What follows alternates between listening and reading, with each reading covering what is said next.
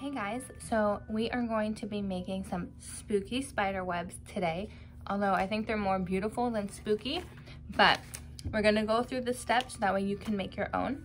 We're going to be using oil pastels, a black oil pastel, watercolors, and white paper.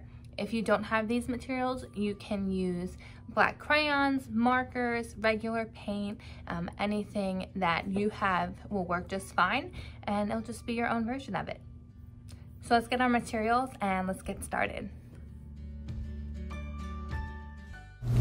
First, you're going to start off by making a dot anywhere on the page, and this is going to be the center of our spider web. And then you're going to go from the dot and draw a line to the edge of the paper. And you're going to do this all the way around until the lines go for the full page. Then you're going to connect line to line by drawing a slight curve. It kind of looks like a U, and you're going to do this all the way around, and this is going to make the inside of our spider web. So then it looks like a full circle, and then you can move up and start another row.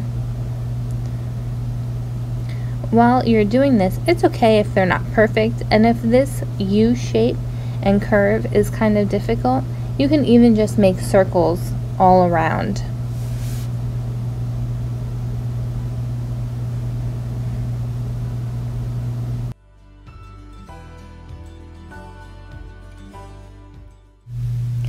Now that we have our outline made, we're ready to get started with our watercolors.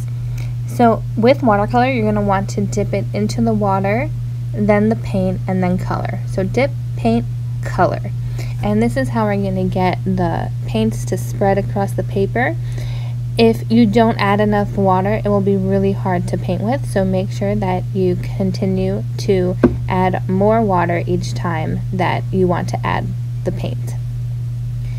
Here you get to really explore your creativity and choose the colors and where you want to put them. I am coloring in each section of the spider web, but how you design yours is up to you.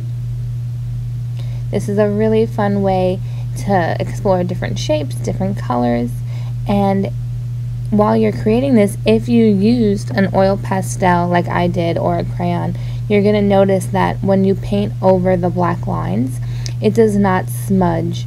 The oil pastels don't have a reaction to the water and it is a great material to use when trying to explore two different types of materials at the same time in one artwork.